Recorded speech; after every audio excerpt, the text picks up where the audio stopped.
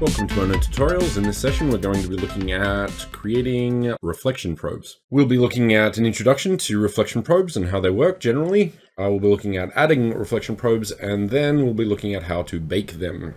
They are sort of part of the baking process, so light maps, reflection probes, and light probes are all sort of the one process in a way. Let's jump in. Uh, so here we have the space that we created with the light mapping tutorial. Main note here is that all of our assets are still set to static. Now, reflection probes are very useful in regards to creating reflections in a performance space. Uh, unfortunately, we don't have ray tracing or anything really cool like that in WebGL, so we have to use other techniques to create a, a reflection of sorts. Uh, reflection probes are static in that they don't really update with dynamic objects there is a setting you can turn on uh, to do that to update like every second or so, but that bakes the reflection probe every second or so, so that will take away a lot of performance uh, to the space. However, for something that requires it, uh, that might be useful. That said, I won't be looking at that this tutorial. Rather than sort of explaining it, I'm going to show what a reflection probe is. So in our space, I'm going to create a new child object. I do this just to make sure things are sort of easier to understand. So I keep, I like to keep things sort of separate and in uh, empty game objects so I can access things easier and keep things very neat with this. So the whole space, for example, is in the assets. Uh, reflection probes will be separate.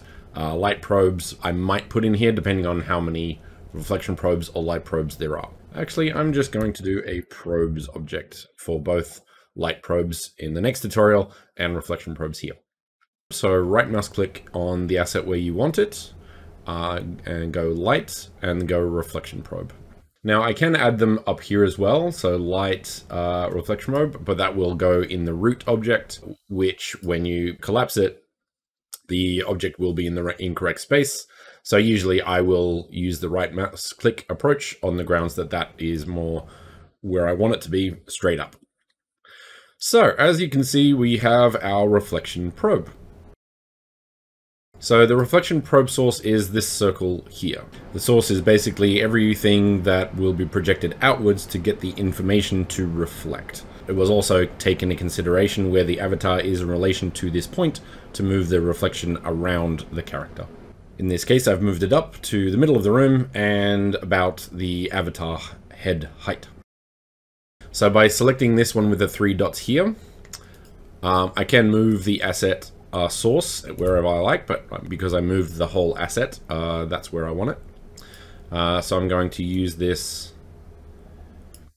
to kind of include all of the assets that I want to put into my scene. Whatever assets are in this box will use this reflection probe. A good example is any dynamic object, and most importantly there is the avatar themselves. I'll show a clear example of this later in the video. If I run on this side of these two dots, uh, the reflection probe will be incorrect. And if I run inside this bar, the reflection probe will be incorrect because it will be reflected from this location. So for simple spaces or low reflective uh, materials, uh, what this would be fine, but in more complex spaces or highly reflective, we would need to add more. Each reflection probe will have uh, an asset, uh, as in a texture, that will take up your limited uh, file size. And once again, the space is a maximum of 180 meg uh, for the total space. So every asset that you add in file size will eat into that. That said, um, I will want the reflections to be correct up here, and I will want the correction, the reflections to be correct here. So I'm going to add a couple of reflection probes. So I'm going to name this one reflection probe uh, main. So I'm going to move this to there and I'm going to move this to there. Now, the reason I'm doing a bit of an overlap is because if you have two reflection probes, the transition between the two will be this overlap. Um, so a nice blend between two reflection probes will happen in this environment if there's an overlap. So let's let's do an example of that. So I'm going to duplicate that. rename this one. We'll call this the stage. Uh, I'm going to move the asset. So I want the reflection to be from maybe there. And then I'm going to create the asset here. And I think that's good. Now, because the avatar will sort of be a little bit higher, I'm going to move that up as well, just to there. Okay. So as noted, when the avatar is in this space, it will use this reflection. Um, over here, it will transition from this one to this one. And I, I, if I really wanted to, I could put one in the middle, but that's a bit overkill, and I don't really want to do that. Uh, once again, file size versus quality versus performance will always be the challenge. Uh, the last one is behind the bar. So I'm going to duplicate that again bar. And then once again, three clicks, put this behind. Now notice how I can't go further than that. Uh, that is because I haven't moved the source of the material, which is there. Uh, but for the sake of this, I'm actually going to move the whole object to there and then change the asset to there. I did notice that I didn't duplicate the file first, so I'm going to do that so the transform is in the in the right location. So once again, there'll be a transition in this overlap here. But once you're in this side, uh, it will be the correct reflection probe. So we have our three reflection probes. Now let's look at some of the details on them. So we want these baked. We do not want these real time. I wouldn't recommend using that. I'd just use baked. Most of these I will leave alone. The only one that I will change is probably this one. So this is how big the texture is, and therefore how big the file size of that texture is. Now, if most of your space doesn't have anything very metallic and shiny, so not very clear reflections, you can actually get very low. Uh, however, if you have like a 100% mirror, you would need pretty high. So balancing between sort of high quality or low quality, depending on the assets that you have in the space, is part of the challenge. Um, generally, I will put them usually between 128 and 256. To bake a reflection probe, you can press bake here, or uh, when you bake your light maps, your re reflection probes will be updated as well. And then you can look at the bake at the bottom here. So every asset that is in this main box or any dynamic dynamic objects that comes into this box will reflect this reflection probe. And then we have this one, which is slightly different, and of course RP bar. Now, none of these assets are very reflective. So I'm actually going to change walls.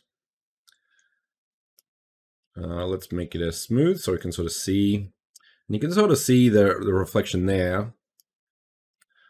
So if I put that up, you can sort of see that. If you want to, you can actually change the reflection probe. So let's go to main. And sometimes that will work. Um, and if you go metallic, then you'll have a very clear reflection there. There are many ways, especially with normal maps and metallic smoothness maps, to make the reflection map fuzzy so the reflection map can be smaller. Um, so this is a, a good example of what happens there. Let's jump in and have a look in the playground. Now notice how I am not in the reflection.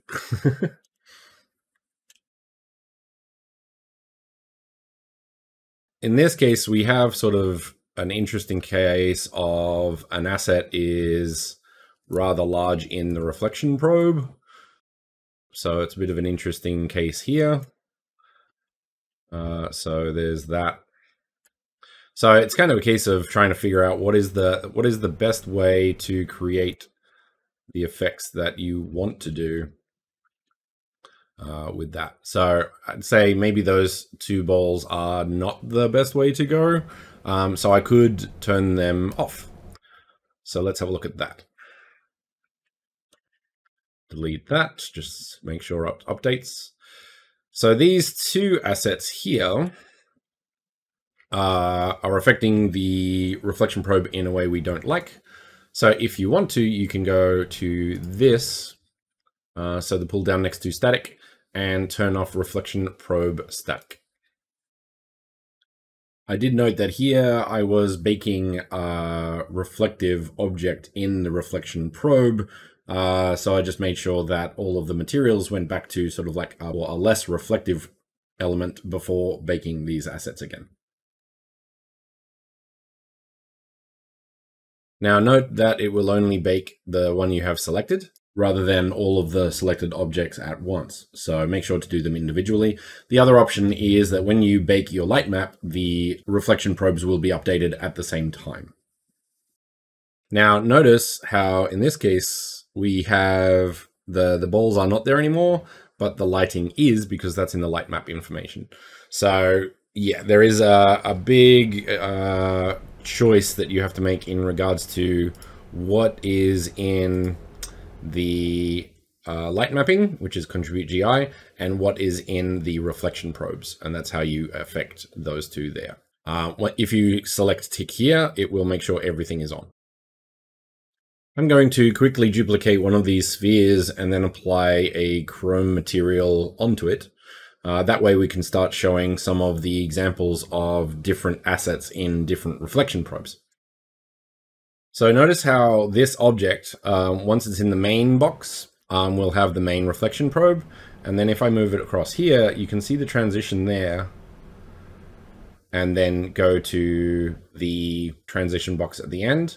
Now, if I wanted to, I could actually move this up here, and that would have the uh, third transition box.